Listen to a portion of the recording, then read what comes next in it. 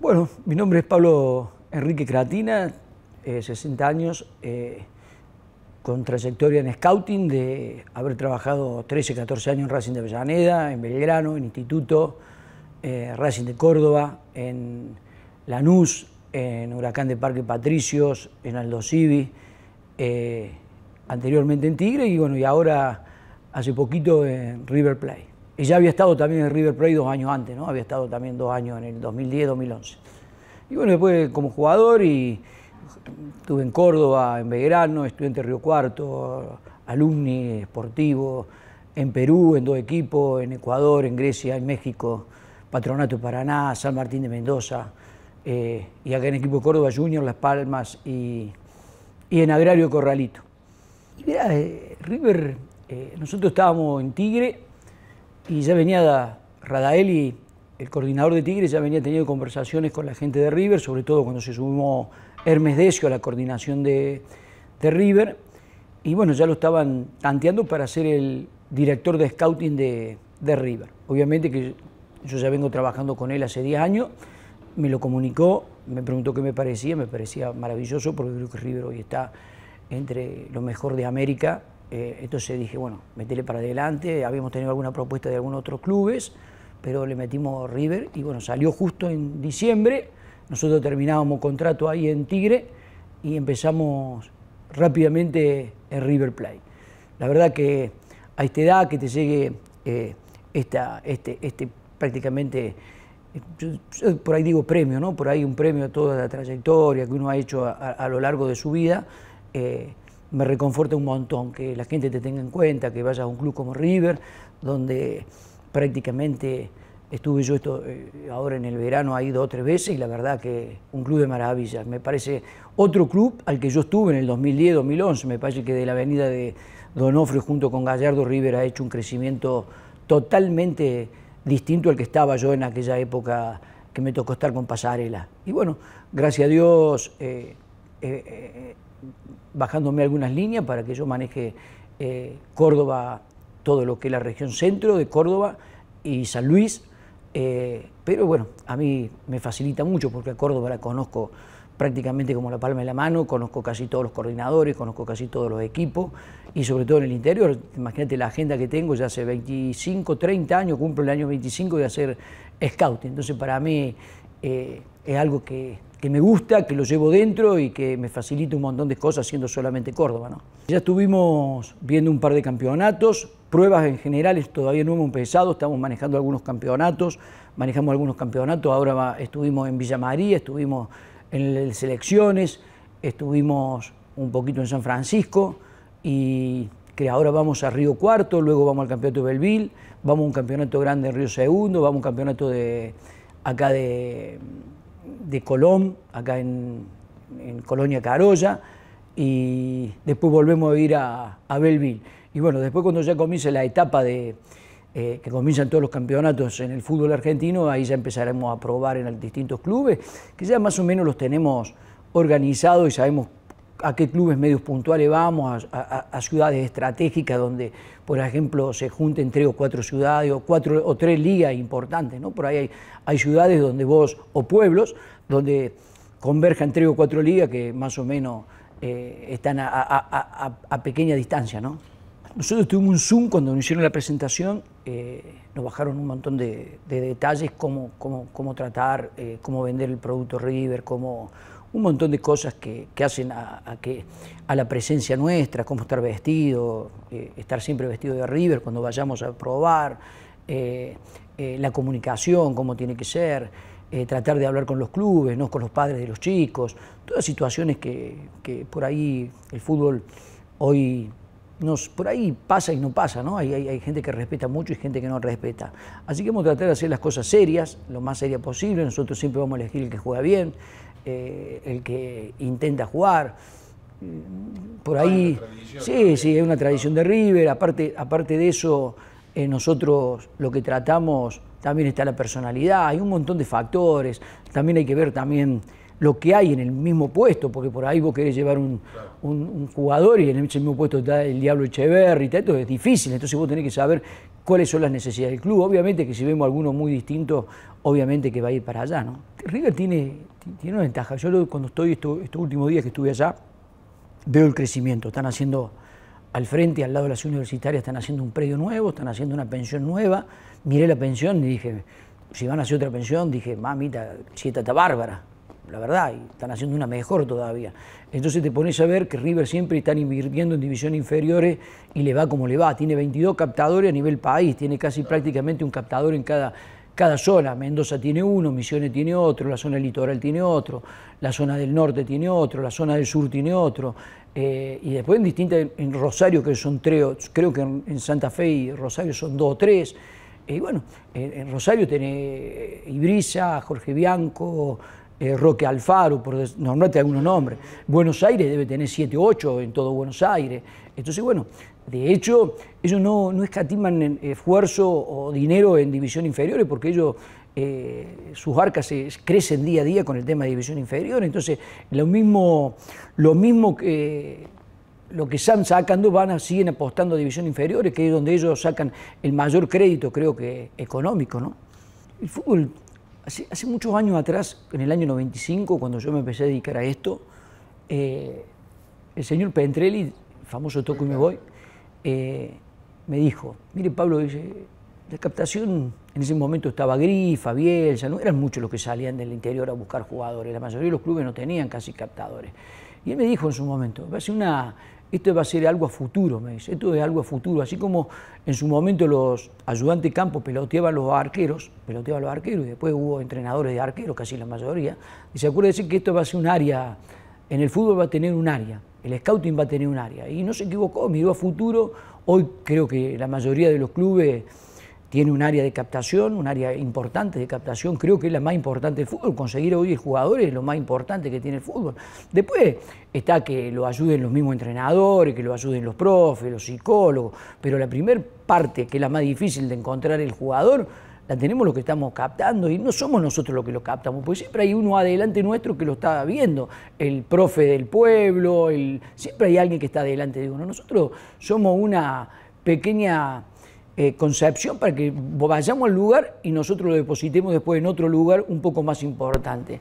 Y con lo que respecto a la escuelita, la escuelita también cumplo 25 años, pero bueno, lo mío ya ahí pasa por una cuestión que es muy, muy, eh, yo no diría competitiva, ¿no? Lo hago muy eh, a otro nivel para que los chicos se diviertan, los chicos disfruten, los chicos puedan puedan entrar en el, mundo del fútbol, para que puedan jugar en los colegios, en los barrios. Por ahí, ahí yo tengo chicos que, que han sido profesionales, me han tocado algunos pibes que han sido profesionales, pero eso no quita la identidad de la escuelita. La escuelita está hecha para que los chicos se diviertan, que sonrían, que pasen un momento agradable, que tengan momentos gratos, que jueguen todos. Yo no, juego, no compito en ningún campeonato a lo largo del año, solamente hago encuentros.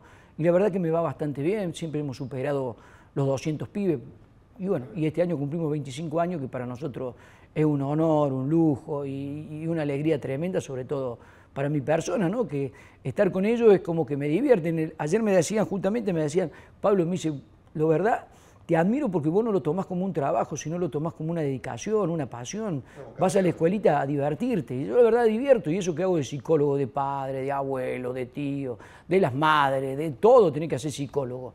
Y bueno, tratamos de ayudar a, que los chicos crezcan y se diviertan en una, etapa difícil de la vida, porque hoy es una etapa totalmente distinta, capaz que hace 20 años atrás, pero siempre tratamos de que los pibes se diviertan, que eso es lo más importante de todo. Después, si le ves condiciones, yo por ahí le digo a los pibes, llévatelo a Las Palmas, llévatelo a Huracán, llévatelo a Peñarol, llévatelo a Belgrano, Instituto, que porque están para otro nivel. Pero mientras tanto, si no pueden, por lo menos tienen un espacio para divertirse y jugar, ¿no? Estamos hablando de, de distintos niveles, ¿no? Hoy al agrandarse el fútbol argentino con tantos equipos, 28 equipos en el, campeonato, eh, hay muchas más posibilidades de jugar en un equipo de primera. O sea, son más las cantidades, más, más los equipos. Eh, la B Nacional también tiene una gran cantidad de equipos. Y hoy la posibilidad hasta, prácticamente hasta de jugar en, una, en un argentino A, a los 3 o 4 años tiene la posibilidad capaz de jugar en primera división de fútbol argentino. Entonces... Recién citado el caso de del Puebla. Subió ahí en ese momento, lo vio Mostaza y Mostaza se lo llevó a, Boca, de Racing, a Boca, y bueno, y el pibe hoy está jugando en la primera división de, fútbol argentino. Todos estos casos hay, hay. Eh, hoy, hoy, la posibilidad de jugar al fútbol es un poco mayor a lo mejor que en la época que me tocó jugar a mí. Antes vos decías los planteles, los decías de memoria. Y Miguel Lacier, por ejemplo, pongo un ejemplo, jugó de año la primera con el número 10 de Belgrano y todos los pibes que venían ahí atrás se le hacía muy difícil jugar. Hoy el recambio te hace jugar más rápido en primera división.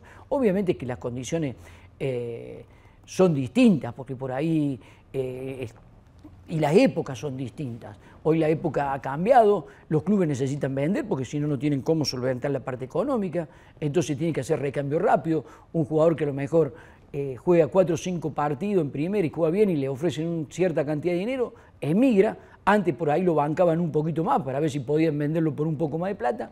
Hoy no sucede eso. Entonces, eh, a la vez tanto recambio, se da la posibilidad de que el jugador llegue. Yo siempre digo, lo importante hoy un pibe o un jugador de, división inferior, eh, no, importa que juegue en Boca, River, Independiente, Racing, Talleres, Belgrano, sino que llegue a jugar en primera, que asome a jugar en primera. No importa, a lo mejor un Nacional B, San Martín de San Juan, Independiente Rivadavia, y la gente lo ve. Hoy, hoy con el tema de todos los programas que hay para ver jugadores, todo el mundo sabe todo lo que juegan y cómo juegan. No solamente de acá de Argentina, sino estamos hablando de América. Y al instante. Y al instante. O sea, decís, che, a ver, número 8, pase, entra a un programa y te muestra el número 8 de San Juan, el número 8 de, Maipú, el número 8 de Alvarado, te van mostrando todos los programas. Pablo, y ya para ir cerrando, el corredor eh, para reclutar, para captar talento, sigue siendo el que engloba a Rosario, Córdoba, Buenos Aires, bueno, la misma Santa Fe. Sí, pues, es la pregunta esa es siempre es una pregunta donde más o menos hay, una franquita que arranca, de, no sé si Zampacho, ahí Coronel Molde, da una vueltita ahí entre La Pampa, sigue por la zona de Villa María y termina ya por Sunchales eh, Rafael, la Reconquista, una buena, muy buena zona.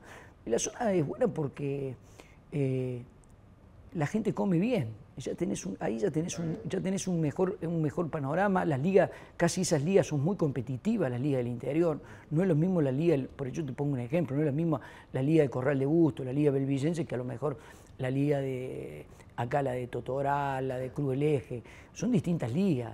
De, hecho, la plata que se paga también a los jugadores de primera, a los clubes, cómo están organizados, los clubes son mutuales. Entonces, toda esa franja está muy bien económicamente. Entonces, vos fíjate que la mayoría de los jugadores eh, que están en, eh, o que la mayoría de los jugadores que juegan en primera división, mucho es de esa zona. Después tenés jugadores excepcionalmente que llegan de tal y tal lado. Pero bueno, por ahí yo siempre digo, ¿no? Cuando uno lo lleva a, la pensión, eh, también hay, mucho, hay muchas cosas que ver, porque por ahí cuando vos económicamente estás bien y llevarte una pensión, donde por ahí tenés que hacerte de comer, tenés que hacerte, eh, tenés que lavar los platos, tenés que ir al colegio, tenés que un montón de cosas de que hacer, por ahí hay pibes que prefieren no ir.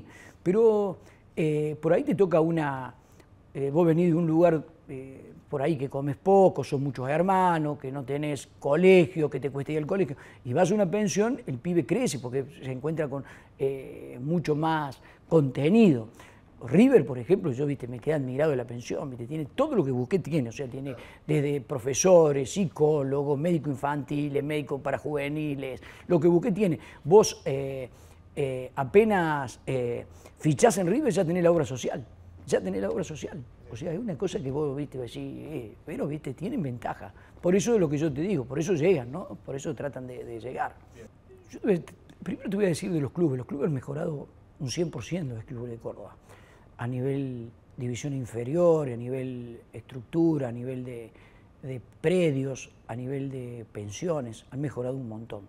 Eso te lleva a, a que tengan mejorar también el área de captación. Talleres tiene un montón de captadores, Belgrano tal vez no tanta, tiene tanta cantidad como Talleres, pero bueno, tienen, consiguen jugadores, consiguen, porque la verdad Belgrano tiene un montón de jugadores que vende, que sacan, y ha crecido mucho, la verdad. Yo siempre digo, ¿no? Por ahí hubo un, un antes y después en el fútbol cordobés, ¿no? Por ahí la entrada de Balarino en su momento le dio otro matiz al fútbol de Córdoba, le dio otro matiz al fútbol de Córdoba. Vos acordate lo que eran antes, la, yo me tocaba, me tocó a mí, entrenamos en la Laguna de los Patos, Mario armó el predio, armó un montón.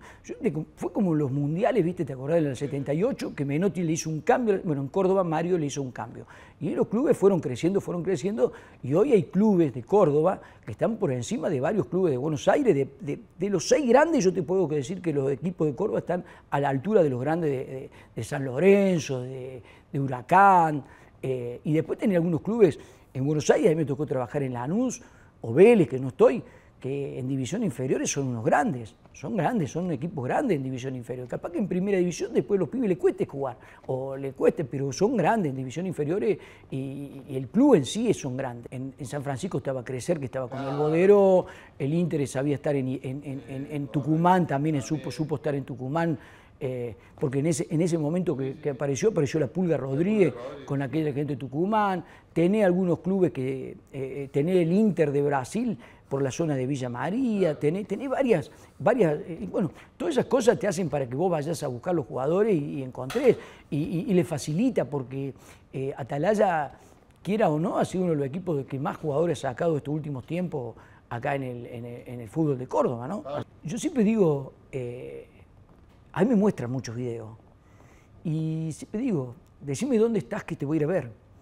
Porque en el video te muestran, eh, hay cosas que no se ven. Hay cosas que no se ven, hay cosas... Es como el partido de televisión, hay cosas que no se ven. Hay cosas cuando la personalidad del jugador no se lo ve si no está cerca, si no está en la tribuna. Hay muchas cosas que no se ven. Yo siempre digo que la mejor forma de ver es el ojo. El ojo no te, no te miente. El charlar con el pibe, a ver qué piensa, qué, qué, qué, qué qué piensa de su vida, qué piensa hacer, si está decidido a irse. Y después lo ves en la cancha el carácter, más allá de la habilidad o no, o la técnica que tenga, hay factores que te indican que el pibe puede ir o no, le preguntas cómo te integra la familia, tenés que preguntar muchas cosas antes de llevar un pibe. Porque después, eh, esto pasa en la mayoría de las pensiones, que vos ves que, por ejemplo, eh, hay pensiones que vos arrancas con 40 pibes y después te quedan 25 porque se te han ido 15 porque extrañan, porque no van al colegio, por un montón de factores se te pueden volver. Por eso está buena las preguntas, está bueno hablar y, después eh, el tema de la pensión es algo que no podemos estar nosotros en la mente de los pibes, porque después los pibes extrañan, falta el cariño de papá y mamá, que no es lo mismo tener un psicólogo o un asistente que tengas puedes tener, no es lo mismo que el cariño de papá y mamá. Hay pibes que se la aguantan y otras no. Entonces hay un montón de carácter que nosotros no podemos jugar contra el carácter, no sabemos cómo piensa el pibe. Pero bueno, vuelvo a decirte, para mí el ojo es fundamental. Para mí verlo al jugador y elegirlo en el lugar me da una satisfacción mucho más lindo que verlo en un video, ¿no? Te agradezco por estos minutos, por tu presencia aquí en la sede de la voz y bueno, te vamos a estar siguiendo, Pablo, y muchos éxitos en este regreso a, River. No, siempre agradecido a ustedes, la verdad que siempre me dan un espacio, cuando estuve en Tigre, cuando estuve en Aldo Civi, siempre me han dado un espacio.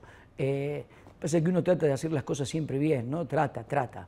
Eh, y a lo largo de los años a, a uno le, creo que con, lo que estoy consiguiendo, yo prácticamente desde, desde el 2000 que empecé a trabajar en clubes de Buenos Aires nunca dejé de trabajar, siempre me han llamado distintos clubes. Y eso es bueno, la verdad que agradezco mucho, le agradezco a toda la gente que confía y bueno, y seguiremos dando todo lo que más podamos, ¿no? Yo creo que siempre tenemos que vivir de sueños. Eh, si vos me decías, eh, ¿Soñaba esto? Sí, siempre lo soñé. Soñé siempre con Boca, con River, siempre sueño las cosas. bueno, ahora espero ir al extranjero, me queda, me, me, me queda un paso al extranjero nada más. Gracias, no, muchas gracias a ustedes.